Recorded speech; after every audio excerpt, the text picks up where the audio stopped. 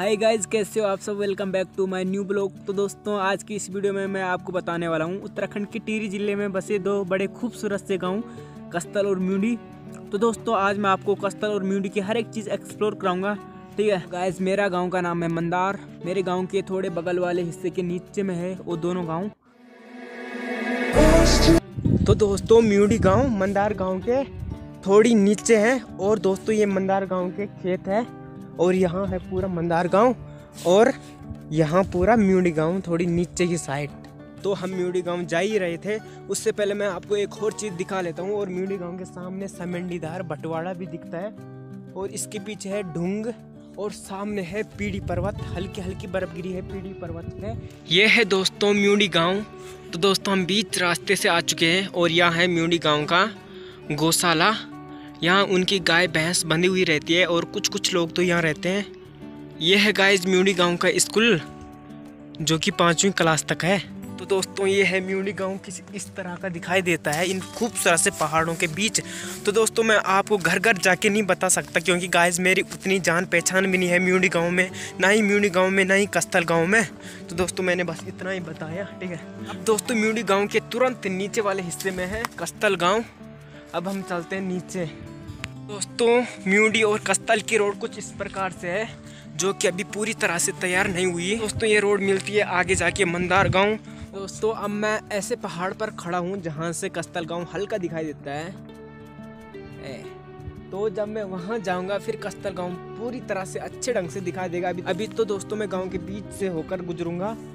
तो दोस्तों, अगर आपको ये वीडियो पसंद आ रही तो वीडियो को लाइक और चैनल को अभी तक आपने सब्सक्राइब नहीं किया तो चैनल को भी सब्सक्राइब कर लेना। क्योंकि दोस्तों, मैं यहाँ आप ही के लिए आया हूँ। मैं अलग अलग जगह जा रहा तो अलग अलग पहाड़ों पे ब्लॉग बना रहा तो सिर्फ़ आप ही के लिए। तो दोस्तों, अभी मेरे साथ है मनोज, मेरा भाई, चाची का लड़का।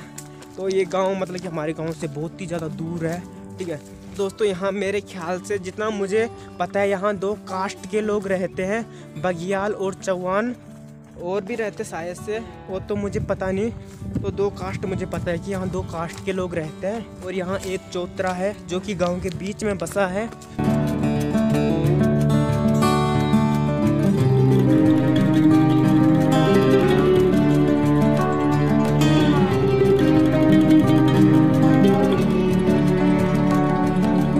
तो यहाँ पीछे कस्तल वालों के गौशाले है।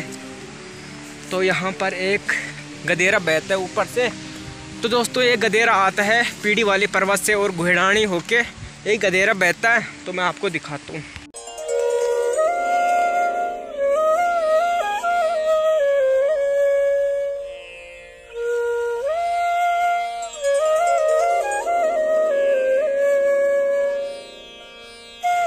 दोस्तों, इस वाले साइड तो कस्तल वाले पूरे रहते हैं और इस साइड कस्तल वालों के गौशाले जहाँ गाय, भैंस बंधी हुई रहती है और दो तीन परिवार इस साइड रहते हैं यहाँ पे और इसके ऊपर भी एक स्कूल है और एक स्कूल बीच में भी है। यहाँ मेरे यहाँ मेरे साइड से दो दो स्कूल हैं। तो यहाँ पे कुत्ता है, हमें बहुत ही ज़्यादा डर लग रहा है यार कुत्ते से। दिल की धड़कन मेरी तेज़ हो जाती भाई, ये दो कुत्ते। ओ, ये ऊपर भाई। डर बहुत लग रहा भाई। दूर पहाड़ों से कुछ इस तरह का दिखाई देता है कस्तल गाँव और यहाँ कस्तल गाँव का साइड पे गौशाला जहाँ पर हर एक घर में गाय, भैंस बंधी है। और सामने साइड पे कस्तल गाँव का स्कूल जो कि पाँचवीं या आठवीं क्लास तक है। और बीच में एक चौतरा जहाँ पर गाँव के हर एक कार्यक्रम किए जाते हैं। तो दोस्तों, ये है इस साइड कस्तल वालों के गौशाले और इस साइड है पूरा गाँव, जो कि मैंने आपको वीडियो में भी बता दिया। तो बहुत ही ज़्यादा पसीना हो चुका है थोड़ी यहाँ पर माल्टा खा लेते हैं। तो दोस्तों यार, मैं बीच नहीं गया। बीच क्या था कि कोई जानता नहीं, पहचानता नहीं यार गाँव के बीच, फ़ोन लेके, स्टैंड लेके हम बीच में घूमे तो अच्छा नहीं था। तो मैंने कहा था ना, म्यूडी गाँव के नीचे कस्तल गाँव सामने म्यूडी गाँव और नीचे कस्तल गाँव अगर दोस्तों यहाँ मार्केट की बात करें तो यहाँ शायद से पर्सनल ही मार्केट है गाँव के लिए। जहाँ पर सिर्फ़ गाँव के लिए चाय चिन्नी चाय पत्ती मिलती है वगैरह चक्की चुकी होगी। तो दोस्तों, ये थी म्यूडी कस्तल की वीडियो। इन खूबसूरत से पहाड़ों में बसा गाँव म्यूडी कस्तल। तो दोस्तों, ये वीडियो आपको कैसी लगी कमेंट बॉक्स में ज़रूर बताएँ। ऐसी वीडियो देखने के लिए दोस्तों, चैनल को सब्सक्राइब कर दीजिए। अभी तक आपने हमारे चैनल को सब्सक्राइब नहीं किया तो चैनल को सब्सक्राइब कर दीजिए।